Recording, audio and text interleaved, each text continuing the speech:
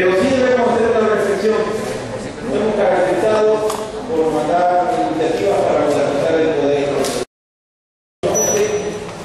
Y hago referencia porque este tema, la ley orgánica ya está rebasada.